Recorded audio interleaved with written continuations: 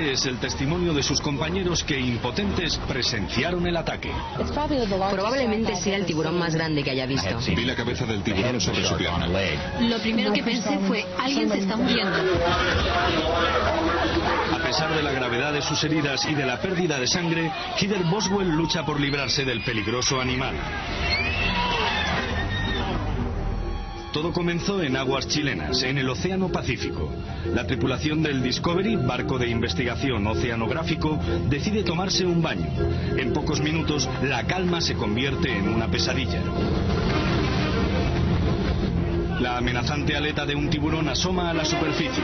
Los bañistas rápidamente se ponen a salvo. Falta Heather. Todo el nerviosismo y la conmoción se centró en Heather. La gente gritaba, sacalda de ahí, sacalda de ahí. Su piel resbalaba por la loción solar y seguimos intentando rescatarla. Echamos un verdadero pulso al tiburón al intentar sacarla del agua e izarla hasta el barco.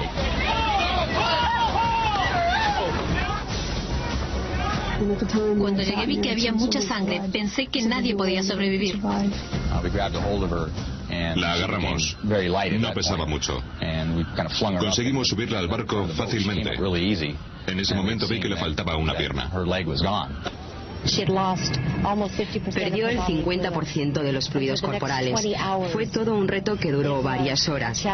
La perdí y la recuperé siete veces y tuve que administrarle oxígeno. Nunca antes había visto tamaña destrucción causada por un tiburón. Si no hubiera tenido 19 años y no hubiera sido una luchadora, habría muerto. El valor de Heather y sus ganas de vivir lograron el milagro. I turned around. Me volví y vi dónde se encontraba. Tenía miedo de que me mordiera los brazos u otra parte del cuerpo. Por eso me di la vuelta y el tiburón comenzó a morderme la pierna. Estaba aterrorizada. Me pasaban un montón de cosas por la cabeza. Me estaba mordiendo la pierna. Era la misma sensación que la que sientes cuando un cachorro te muerde el dedo y no te duele. Pensé que iba a morir cuando me lanzaba de un lado a otro fuera del agua. Solo podía pensar, bueno, puedo tragar agua y ahogarme o dejarlo que me coma.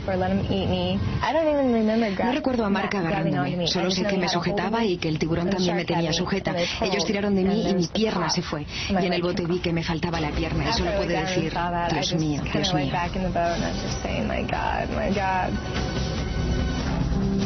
Heather camina ahora con una pierna ortopédica.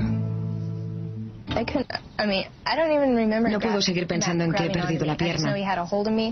No me iba a ayudar. Tenía que afrontarlo y seguir adelante. Heather tiene una gran tenacidad. Creo que es una mujer increíble. No puedo creer lo que le pasó. Yo habría muerto.